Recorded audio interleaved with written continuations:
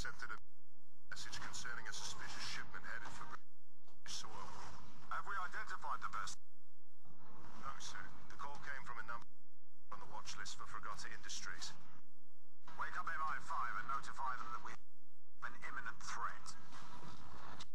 Gentlemen, what do we know? Nothing solid. Special branch is sweeping up known persons of interest, but we advise tasking SAS to investigate Tier 1 threats. Patch me through. Ma'am, I understand we have unknown hostiles expecting a package. MI5 has identified several possible points of entry.